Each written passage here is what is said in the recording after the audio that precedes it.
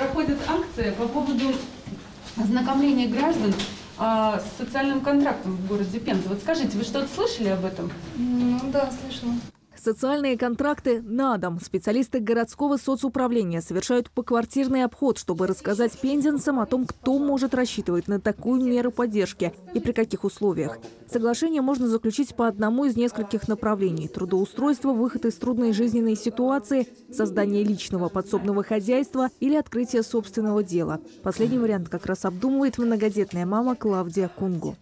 Детишек четверо, как бы про социальный контракт тоже слышала, как бы немножко ознакомлена. Вот, соцзащита нас как бы уведомляли за это дело. Ну, как бы самозанятости хотим, как бы, ну, пока.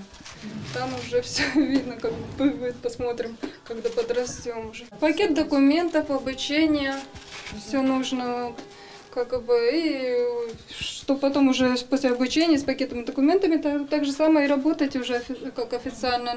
К примеру, на открытие своего дела можно получить от государства до 250 тысяч рублей в зависимости от бизнес-плана. Заключить социальный контракт могут трудоспособные жители области, чей доход ниже прожиточного минимума, установленного в регионе. Взамен государству давать ничего не нужно. Денежные средства являются безвозвратными.